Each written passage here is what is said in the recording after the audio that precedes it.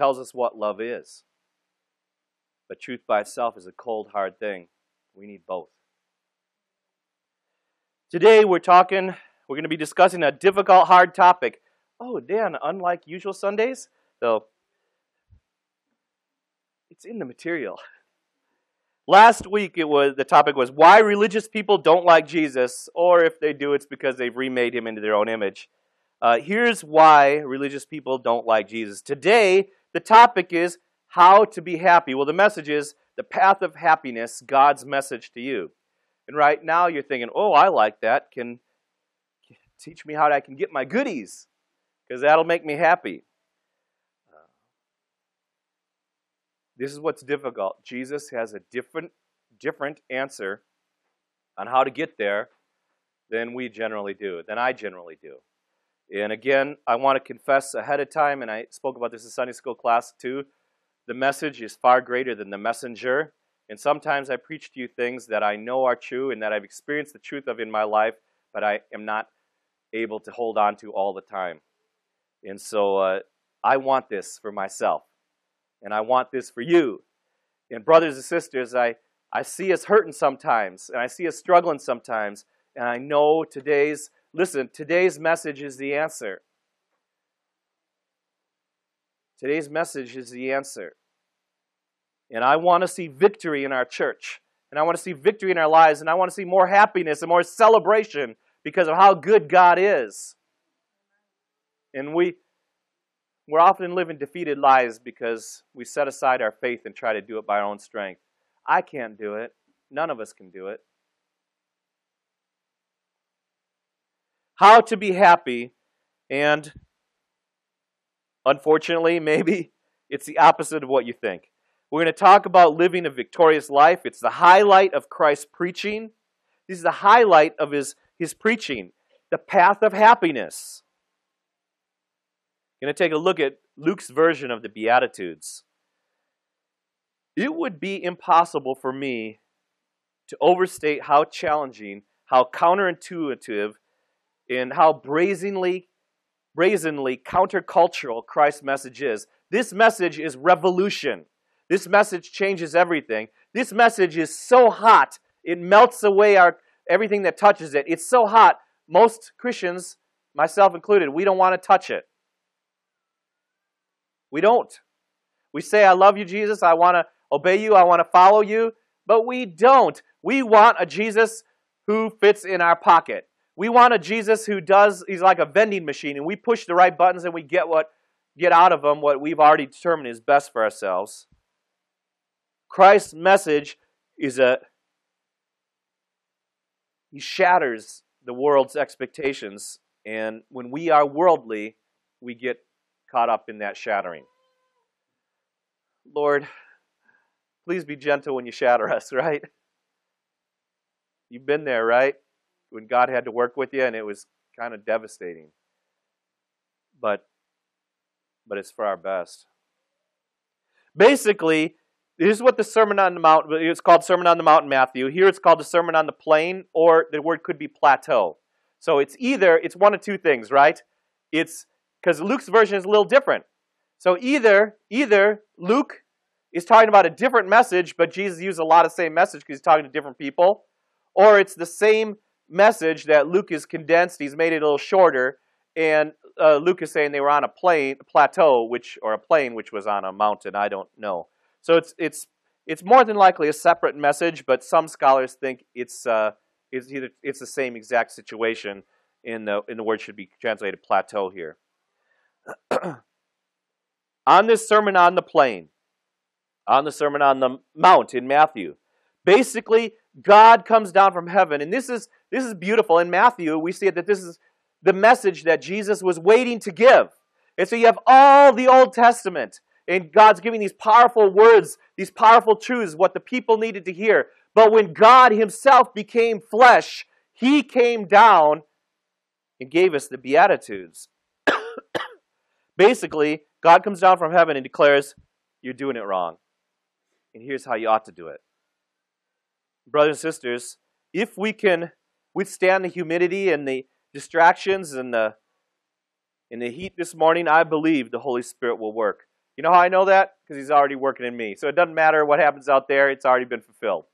Uh, I believe the Holy Spirit is going to work today. And, brothers and sisters, if we cooperate with God, He can work in your life too. The Holy Spirit can do something in our lives today. And when the Spirit convicts us and He challenges us, Satan becomes fearful, and that old enemy doesn't want victory in your life. He will be at work this morning. You can be sure. It's not just the Holy Spirit. The devil is going to try to snatch away what we have for us this morning. And when we listen to him and not to the Spirit, we work against our own good. We rob ourselves of being able to know the joy of forgiveness, the joy of being teachable, the joy of growing, the joy of learning. Because we tell ourselves lies that rob us of this joy.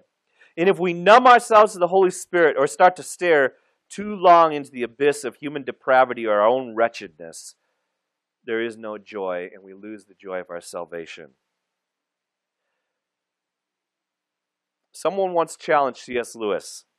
They told C.S. Lewis, You don't like the Sermon on the Mount. You don't like the Beatitudes.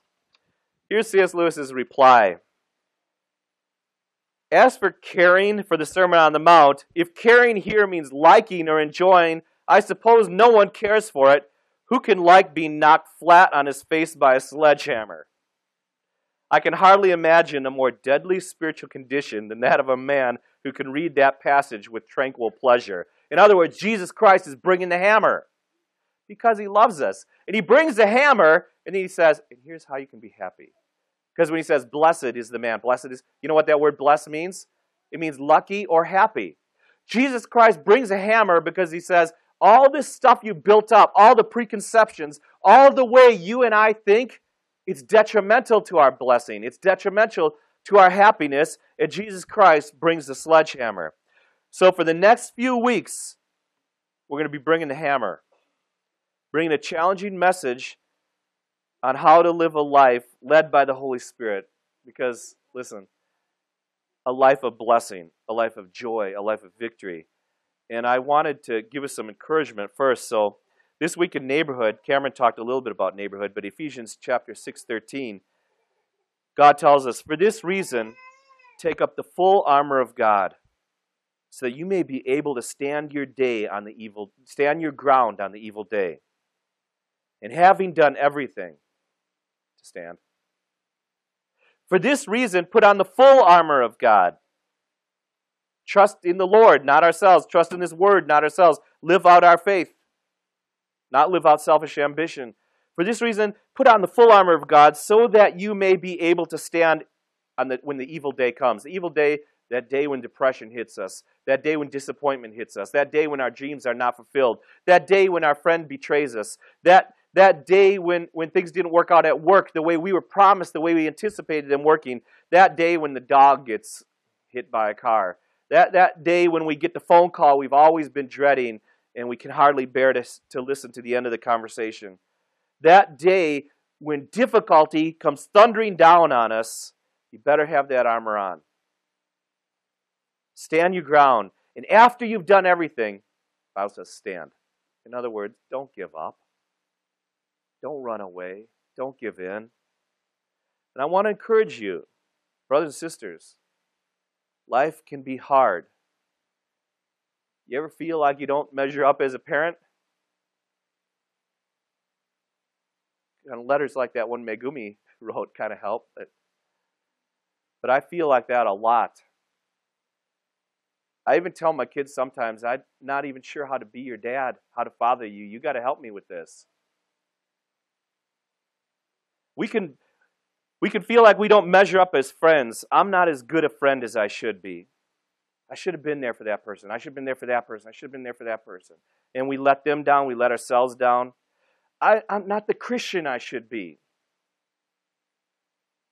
I've never been the pastor I should be. We beat ourselves up. I don't pray enough. I'm not holy enough. I don't always worship completely the way I should. Sometimes I'm distracted. I stand in the house of God and people are worshiping, and I'm not. And the angels say, What's wrong with you? Can't you just get over yourself for a moment? Just for a moment? Worship the Lord. Maybe after years of struggle, patience is still a struggle. After years of struggle, we still have to watch the words that come out of our mouths or the attitudes that we harbor deep down inside. We know we don't measure up. But here's the thing I'm talking to my brothers and sisters in Christ. You are still standing. Oh, Pastor, you don't know how I've been beat around. You don't know how down I. You are here this morning.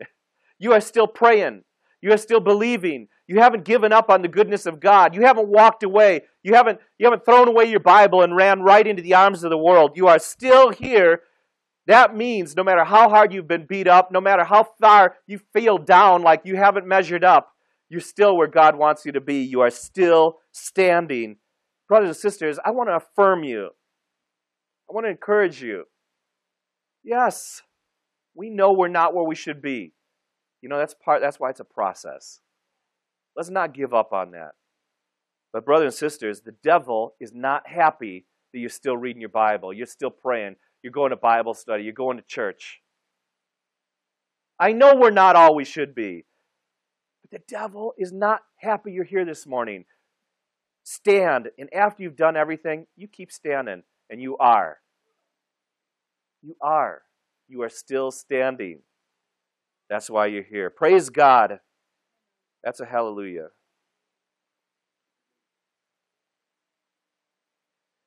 Don't throw in the towel. Don't wallow in discouragement. Stand on the Word of God. Believe in God's grace. You believe in grace? You believe in grace? Is it just, I believe in grace? All my sins are forgiven. I am, there is no condemnation for me. There is no condemnation for me. God, the blood of Jesus Christ, taking care of it all. You believe it? And we don't want to wallow in defeat. Stand on the Word of God. God's grace saved you. If you're a Christian, God's grace got you this far. Amen? And by grace, He is going to bring you home. And He's going to finish the job. And it's going to be okay. It's going to be okay. All right, let's begin our study of the Sermon on the Plain in Luke 6 by turning to Matthew 5 from verse 3, and we're going to read the Beatitudes. The Beatitudes, what do we always say? The attitudes that should be.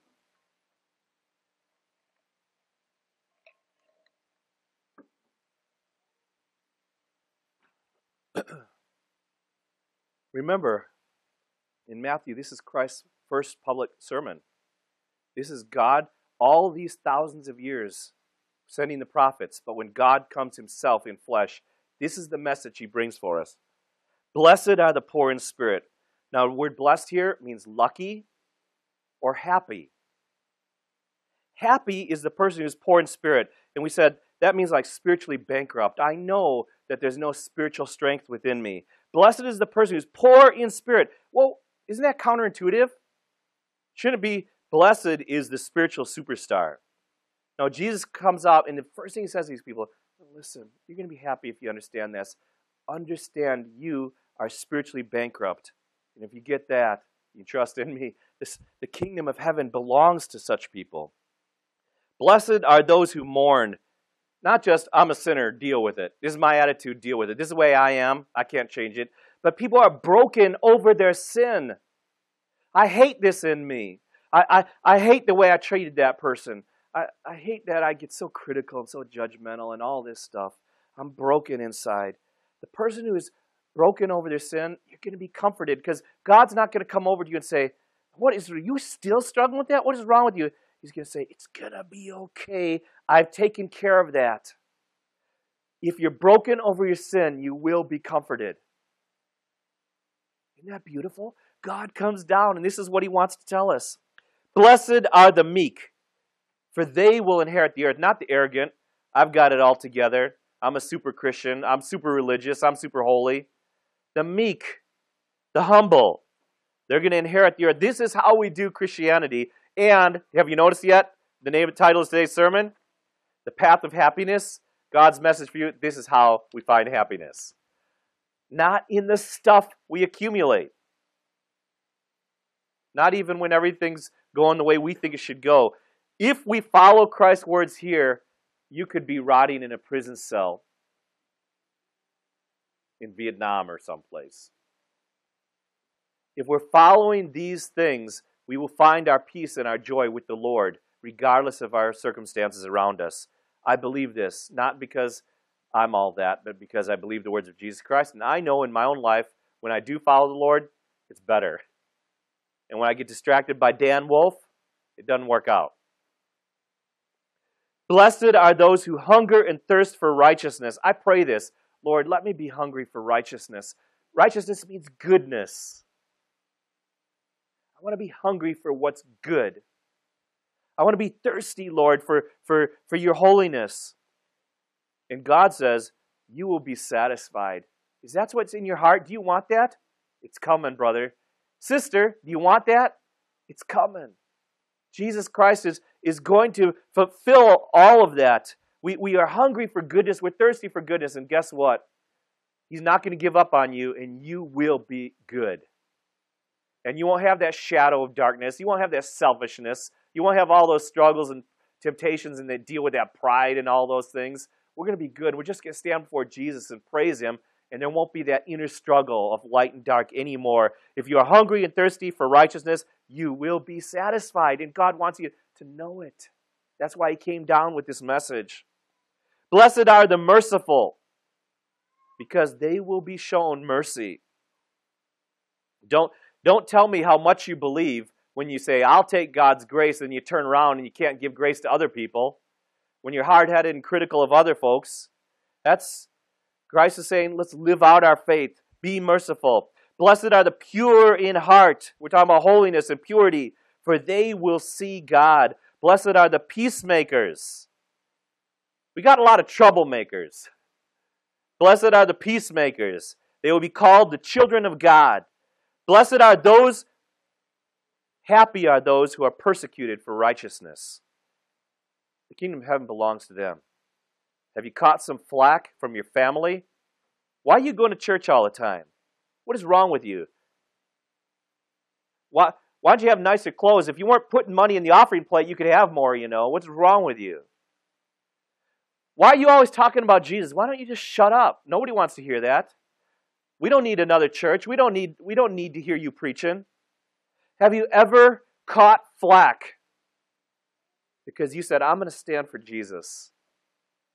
And I'm going to try to lovingly tell other people how they can get to heaven, even if they turn their back, even if they reject me, even if they just don't get it, if they just don't understand. Jesus said, the kingdom of heaven belongs to people like that. He takes it a step further because that's what Jesus does when he's got a sledgehammer in his hand. Blessed are you when people insult you. And I'm sure a lot of people are kind of sitting there and they're, you know, Jesus is going on for a while. Blessed are people when people insult you. What do you say, hon? I don't know. It just didn't make sense to me. And Jesus said again, Blessed are you when people insult you and persecute you and say all kinds of false and evil things about you because of me. Yeah, that doesn't make any sense. You know what? I don't always do that. And sometimes when people get after me for following Jesus, I get bent out of shape. I can get self righteous. I can get angry. But a lot of times, because I have the Holy Spirit, I don't. And I can say, Thank you, Jesus. Thank you that people are ticked off at me because I'm trying to represent you. Thank you, Lord, that people see enough of you in me that when they want to nail you to a cross, they'd take me up too. You know, they're seeing Jesus in you. What do I always say here? Make sure you're being persecuted for Jesus Christ's sake and not persecuted because you are a doofus. Sometimes we, we, we get, oh, I'm being persecuted because I'm such a mean, ornery, nasty person that other people can't stand to be around. You are not being persecuted for Jesus Christ's sake. You are being persecuted because you're a mean, nasty, ornery person that other people can't stand to be around. So let's, let's be winsome. The gospel offends. The cross says, get on your knees before holy God. The cross is offensive. I don't need to be. I want to be loving. I want to be gracious. I want to be winsome. I want to make Jesus Christ attractive in my life, but I'm not going to be so weak with the truth that I'm not actually loving people. In order to love people, I need to bring the full truth. If I'm not bringing the full truth, it's not love. Verse 11 again Blessed are you when people insult you and persecute you and say all kinds of evil things about you and falsely on account of me. Rejoice and be glad because your reward is great in heaven. And Jesus just came from heaven. He knows what he's talking about. Rejoice and be glad when the kids at school don't get you because your reward is in heaven. Rejoice and be glad when the other fellows at work laugh at you, think you're a square. When your neighbors don't understand, when your own family doesn't understand, because God sees. God sees. God's going to bless you. Your reward is great in heaven. And then Jesus said, You know what?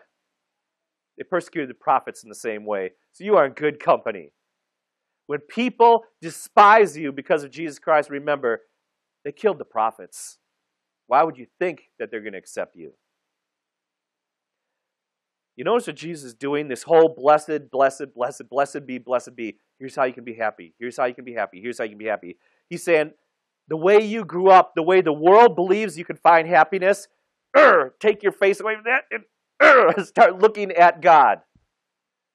Turn your gaze away from this world because this world does not satisfy. Why would we expect it to? Turn our gaze to the world to come.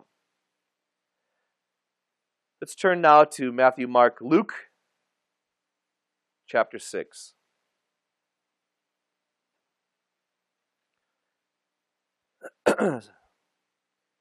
Seventeen through twenty-three.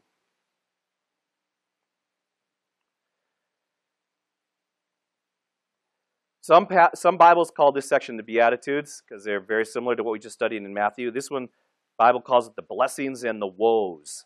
And the woes are the opposite of the how to be happies. This is the how to be miserables. He, Jesus, went down with them and stood on a level place. Well, that's a good compromise. It's not a, it's not a plain, it's not a plateau, it's a level place. He went down from the top there. A large crowd of his disciples, uh, a large crowd of his disciples was there, and a great number of people from all over Judea, from Jerusalem, and from the coastal region around Tyre and Sidon these old Canaanite, these Phoenician cities from years ago. They're, everything's Greek now at the time of this writing. Uh, who had come to hear him and to be healed for their diseases. Those who were troubled by impure spirits, we're talking about demons here, they were cured. And the people all tried to touch him because power was coming out from him and healing all of them. Jesus was just radiating this power and healing, and he was preaching the word, and he's bringing truth and he's bringing healing, and everybody was gathering around him. And this is the message he had for them. Looking at his disciples, and he's talking to this crowd here, he said, Blessed are you who are poor. Blessed again, happy. Happy are you when you're poor. That doesn't. How about happy are you when you win the lottery and you're dirty, rotten, filthy, stinking rich? Blessed are you when you're what is wrong with Jesus? Jesus, again, I said, this is revolutionary. It's countercultural. It's totally the opposite of what the world thinks. Blessed are you when you're poor, for yours is the kingdom of heaven. Blessed are you when you're hungry now. Blessed are you who hunger now, because you're going to be satisfied. Blessed are you who weep now, for you will laugh. Blessed are you when people hate you when they exclude you, oh, that hurts, doesn't it? Were you ever the last person chosen when they were divvying up teams? Why in the world do public school systems do that? Here, you're a captain, you're a captain, pick your teams. And then some poor kids are there and they're the last person chosen. I've been the last person chosen. And, and I was better than those guys.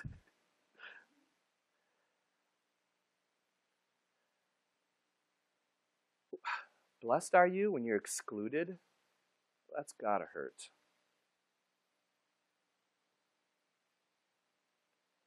Blessed are you when you're insulted. Well, who likes to be insulted? Blessed are you when you're insulted and reject your name as evil, when they, when they just think you're a wicked, nasty person because of the Son of God. In other words, they don't think you're wicked or nasty because you did something wrong. They're not insulting you because you committed some crimes or treated some people nastily. They're, they think you're nasty, they think you're wicked, and they're insulting you because you're doing what's right. How does that feel? Rejoice in that day and leap for joy. Oh, come off it, Jesus. You know, it's not enough he just says you got to be happy about this. He says, why don't you do a little jig? When people insult you, when, when people despise you, when they exclude you, when they th- say you're a bad guy just for following me, Jesus says, rejoice and do a little dance. Dance for joy, because great is your reward in heaven. Because that is how their ancestors treated the prophets. Brothers and sisters, we do everything possible to avoid having anybody upset with us.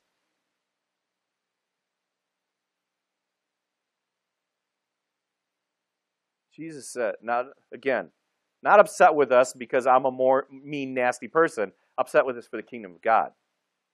Jesus said, when they reject us because of him, you rejoice. You do a little dance because you're in good company. You're with the prophets. J. Vernon McGee said this verse speaks about the reception of and the attitude towards God's prophets by mankind. The true prophet speaks for God and is persecuted.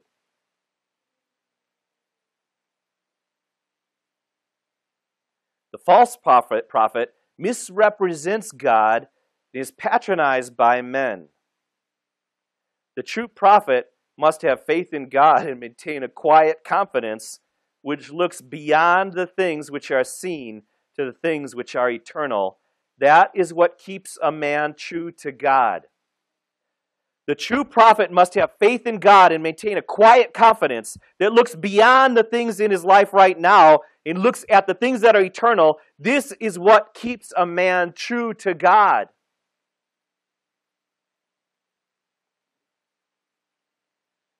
Why is Christ giving us this hard teaching?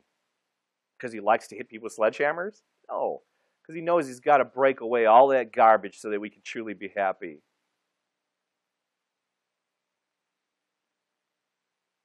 I want us all to be happy.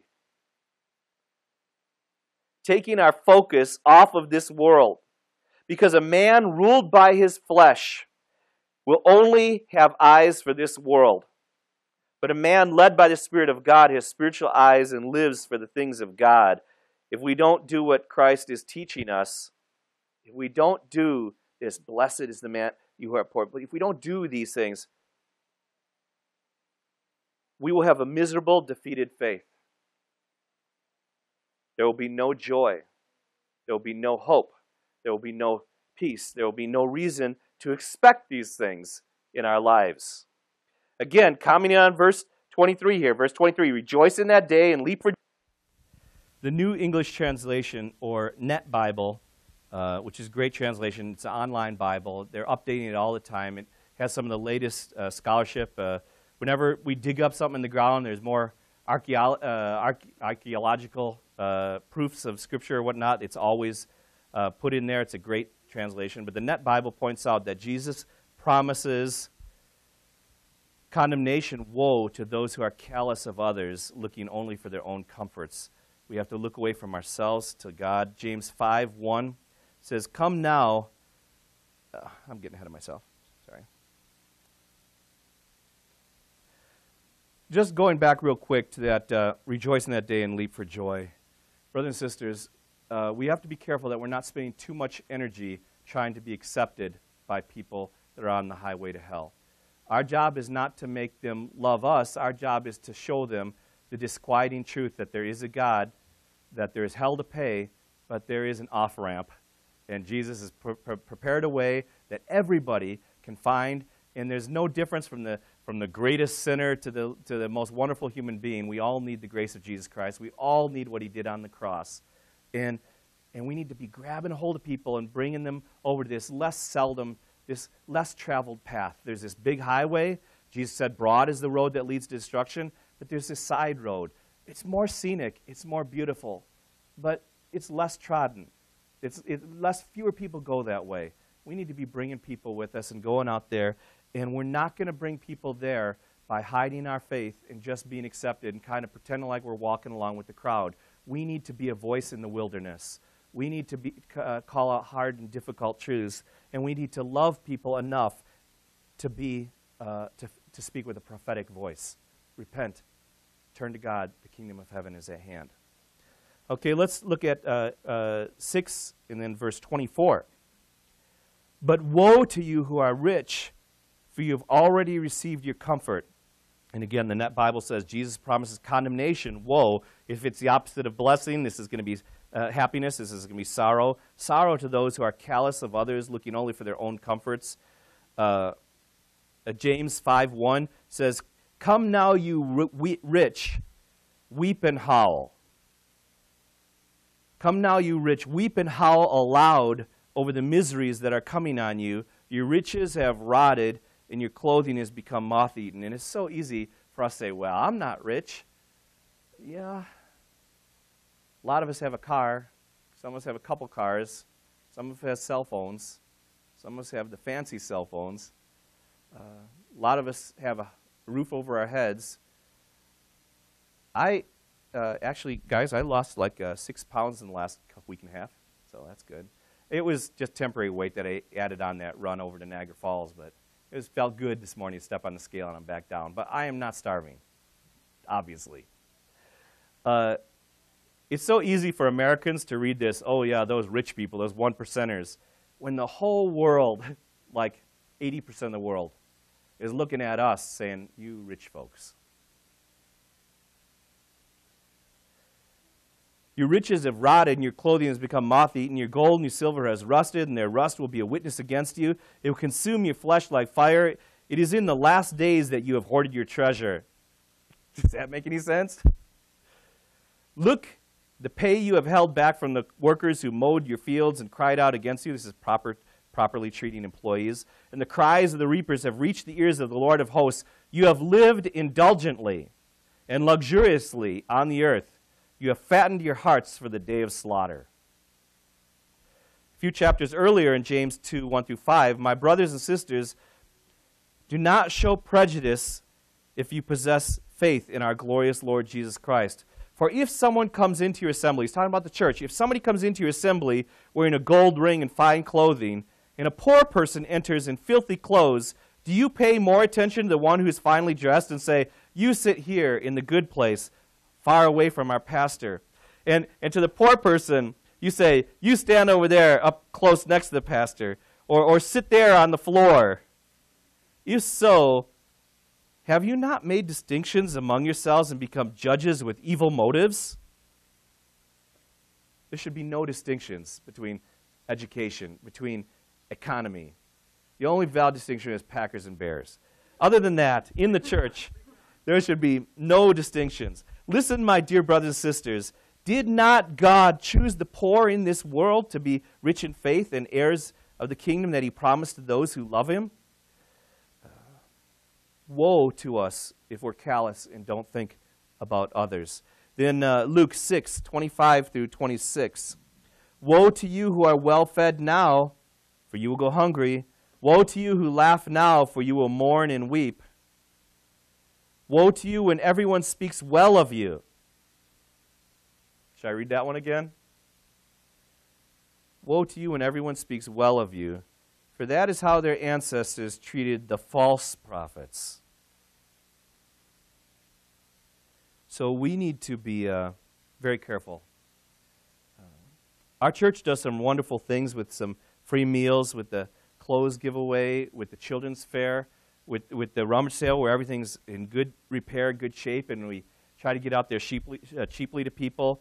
Uh, we've been involved in other ministries here in town, and we, we want to glorify the name of Jesus Christ. We want, we want to do things well so that Jesus Christ is praised. But we need to be careful. What's our ambition here? Well, we want people to think we're good. We want the world to say, well, that's a good church. What does the world always say? The world always says, we need churches to stop preaching and start giving away more free stuff. Then we will accept you. Okay. And Jesus said, Wait, didn't I die so that you could bring the message? I, I died, right? I took on your sins, and I want to take theirs too. Will you, will you share that message? No, they want free stuff. Watch our motives because we should be blessing and we should be reaching out to our community. But when people speak well of us, it's a trap. And we have to be careful. When everybody's saying, oh, you're not like those other Christians, it could be a trap. People say that to me. Oh, Dan, you're so nice and reasonable, not like other Christians. I tell them, you know, I'm a lot more like them than you know. But maybe you don't get out enough. You should go meet more Christians. Check our motives. Are, am, is, am I eager? Am I craving people to like me? Am I hungry for the approval of this world? Or is my goal to please my master? Now, that ought to have an amen with it. Is our goal to please the master? Oh, come on. Is our goal to please our master? Are we hungry for his approval, his stamp of well done, thou good and faithful servant? Is our goal to win people to a life of faith in submission to our Lord Jesus Christ? Amen. So, brothers and sisters, uh, I know this is a difficult message. In you know, I'm with C.S. Lewis in this one, who who likes Jesus bringing the sledgehammer to us. But why did he bring that? Because he loves us, and he says, "Now this is how you're going to be happy. Stop looking at the world. Stop looking at stuff. Stop trying to collect things. Stop trying to get the approval of the world. You live for me. You live for me, and it's going to be okay, and you will be satisfied, and I'm going to pour out blessing on you in this life and in the life to come." And this is the path of happiness. And I want our whole church to be people who can stand in the evil day because we're holding on tight to Jesus and we put on that armor. And when the, when the hard days come and we don't like them, we don't have to like them, but when the hard days come, we're not blown away. We don't drift away. We're still standing with Jesus. Amen. Thank you for watching. Foundation TV is a ministry of Foundation Bible Church, Janesville, Wisconsin. Find us online at foundationbiblechurch.com. Foundation Bible Church, inconveniently located two blocks northwest of the Janesville Athletic Club.